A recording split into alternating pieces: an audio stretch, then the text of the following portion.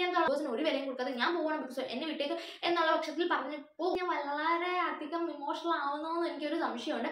Hello guys welcome back to my YouTube channel അപ്പോൾ ഞാൻ വന്നിരിക്കുന്നതെന്ന് വെച്ചാൽ നമ്മുടെ ബിഗ് ബോസിലെ എപ്പിസോഡ് നയനിലെ കുറേ വിശേഷങ്ങൾ നിങ്ങളുമായിട്ട് കൂടി പറയാൻ വേണ്ടിയിട്ടാണ്. ഇന്നത്തെ എന്റെ ഈ കുഞ്ഞു വീഡിയോ വലിയ വീഡിയോ ആക്കാതെ വളരെ കുറച്ചുള്ള വീഡിയോ ആക്കാൻ വേണ്ടിയിട്ടാണ് ഇന്ന് എന്റെ പ്ലാൻ നടക്കോ ഇല്ലയോ എന്നൊന്നും അറിയത്തില്ല. കാര്യം അത്രമേൽ വിശേഷങ്ങളാണല്ലോ ബിഗ് ബോസിനകത്ത് നടക്കുന്നത്. അതിനു വേണ്ടി പറയാനും ഉണ്ടല്ലോ കേൾക്കാൻ നിങ്ങളും ഉണ്ടല്ലോ എന്നുള്ള ഒരു ആശ്വാസത്തിൽ ഞാൻ പറഞ്ഞു തുടങ്ങുകയാണ് guys welcome to my channel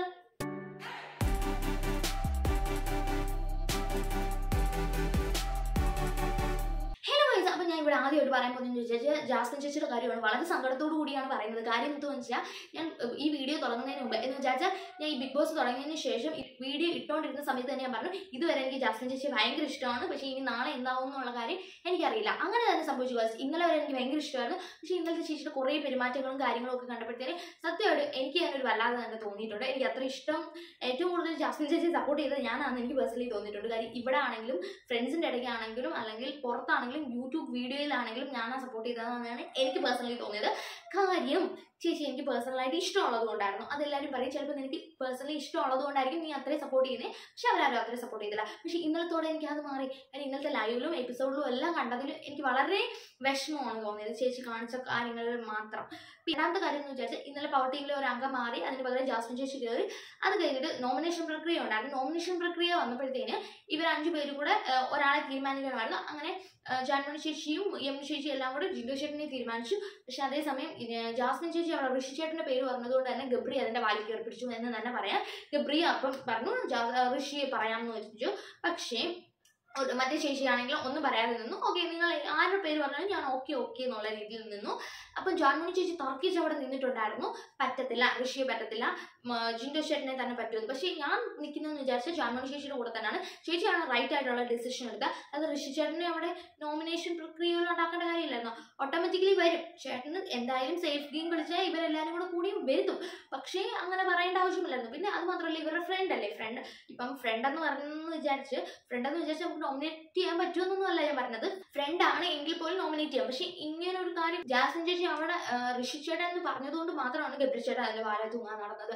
അതെനിക്ക് വളരെ മോശമായിട്ടാണ് എനിക്ക് തോന്നിയത്. എനിക്ക് പേഴ്സണലി അത് തീരെ എന്ന് പറഞ്ഞാൽ തീരെ തീരെ ഒട്ടും ഇഷ്ടപ്പെട്ടില്ല എന്ന് തന്നെ പറയാം. കാര്യം ഗബ്രി ചേട്ടൻ സ്വന്തമായിട്ട് തീരുമാനമൊന്നുമില്ല. ചുമ്മാ ജാസ്മിൻ ചേച്ചിയുടെ പുറകെ നടക്കുവാണ്. ഇല്ല റോക്കി ചേട്ടൻ പറഞ്ഞ പോലെ.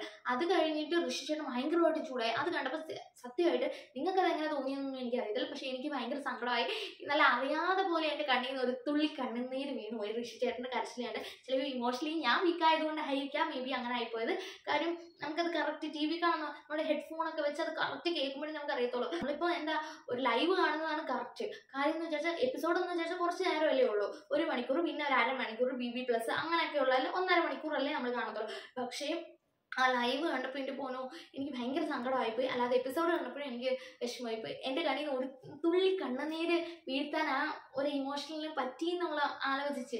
അപ്പോൾ തന്നെ ഇന്നലെ എന്റെ അയച്ചേട്ടൻ ചോദിക്കും ചെയ്തു നീ എന്തിനാ കരയുന്നു ഇതൊക്കെ കണ്ടിട്ടെന്ന്? പണ്ട് സിനിമ കണ്ടാൽ പോലും ഇനി ആരെങ്കിലും തല്ലിച്ചാവുന്ന കണ്ടാൽ പോലും ഞാൻ കരയാത്തോളായിരുന്നു. പക്ഷെ അത് കണ്ടപ്പോൾ എന്തോ ഇപ്പം ഞാൻ വളരെ അധികം ഇമോഷണൽ ആവുന്നോന്ന് എനിക്കൊരു സംശയമുണ്ട്. ചിലപ്പോൾ മേ ബി അതുകൊണ്ടായിരിക്കാം അങ്ങനെ പറ്റിയത് അറിയത്തില്ല എന്തായാലും.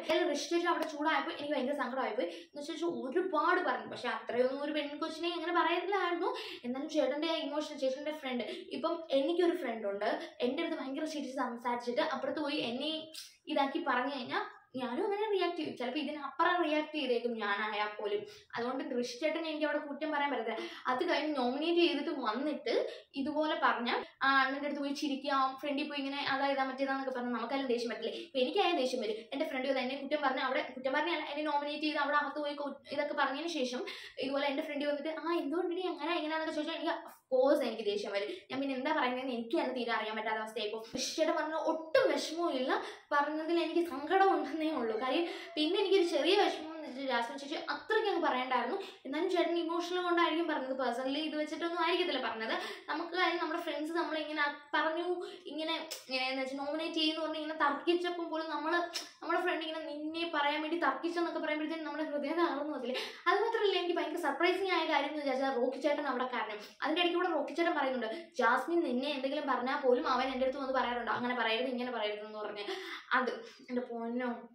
അതെനിക്ക് ഭയങ്കര വിഷമമായി പോയി. അത് മാത്രമല്ല റോക്കി ചേട്ടൻ കരയുന്ന കണ്ടപ്പോൾ എന്തോ അതും വിഷമമായി പോയി. പക്ഷേ ഇത്രയും ഇറിറ്റേറ്റിംഗ് ആയ ഒരു മനുഷ്യൻ വേറെ ഇല്ലെങ്കിൽ പോലും ചില സമയത്ത് ഇപ്പോൾ എനിക്ക് തോന്നാറുണ്ട് റോക്കി ചേട്ടൻ പറയുന്നതായിരിക്കും പലതും ശരിയെന്ന്. കാര്യം എന്ന് വെച്ചാൽ എന്താ റോക്കി ചേട്ടൻ പറയുന്നത് ശരിയെന്ന് കാലം തെളിയിക്കുന്നു പറയത്തില്ലേ അതുപോലെ കാലം തെളിയിച്ചുകൊണ്ടിരിക്കുമെന്നാണ് എനിക്ക് തോന്നുന്നത്.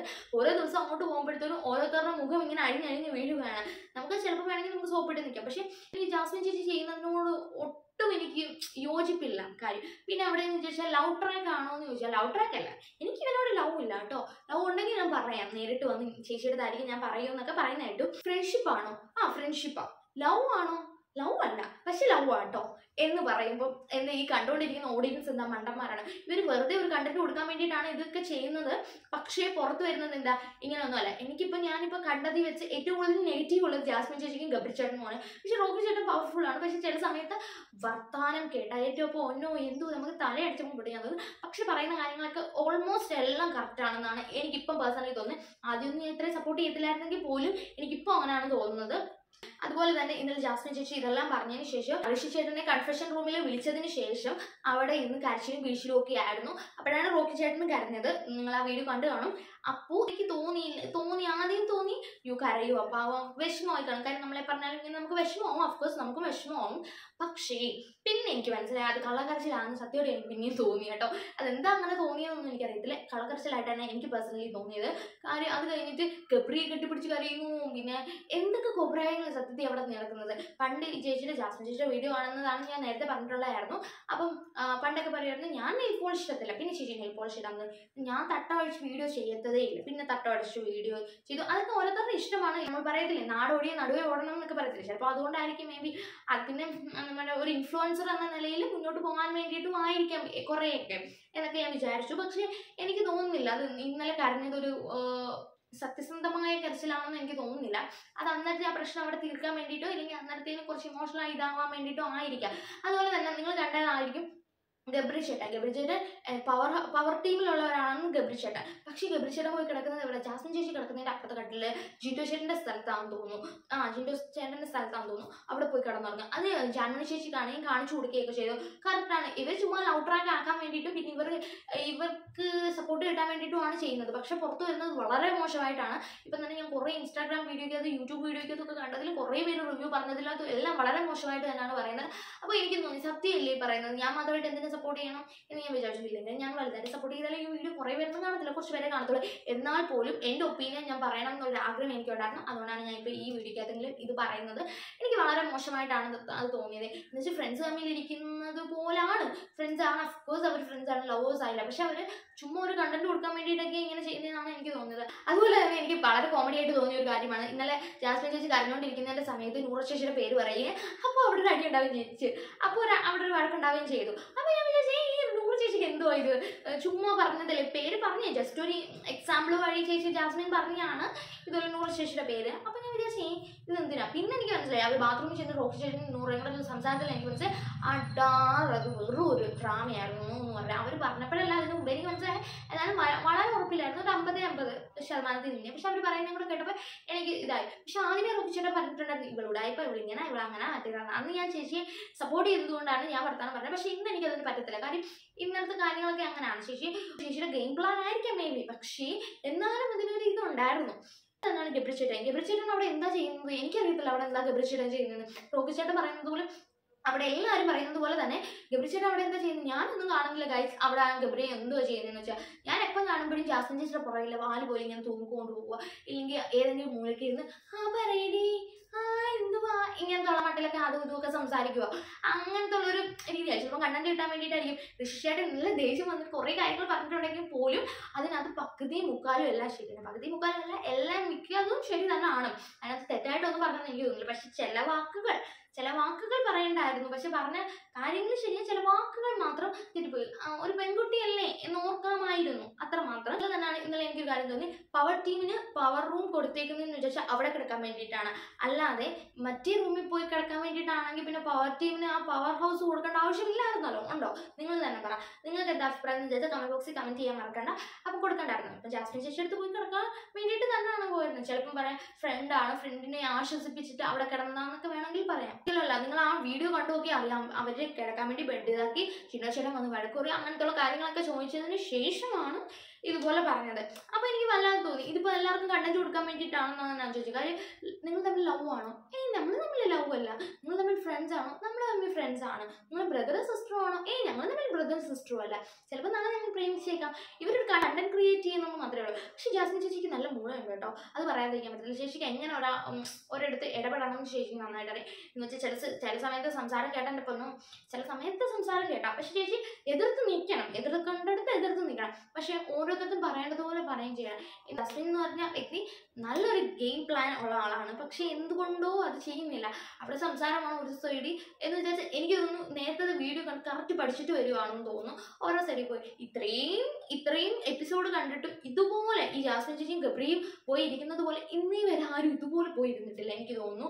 ഇതിന് നേരത്തെ കണ്ടസ്റ്റൻസ് ആരെങ്കിലും ഉണ്ടായിരുന്നെങ്കിൽ ഉണ്ടല്ലോ ഇവരെ ശരിപ്പെടുത്തേനെ ഇപ്പോഴത്തെ ആൾക്കാരായതുകൊണ്ട് തന്നെയാണെന്ന് തോന്നുന്നു. പിന്നെ ഇപ്പം സംസാരിക്കുന്നതെന്ന് വെച്ചാൽ റോക്കി ചേട്ടനും ഋഷിയും പിന്നെ കുറേ അല്ലാതെ ജാൻമണി ശേഷിയൊക്കെ ഇപ്പം അല്ലാതെ നല്ല രീതിക്ക് തന്നെ പറയുന്നുണ്ട്.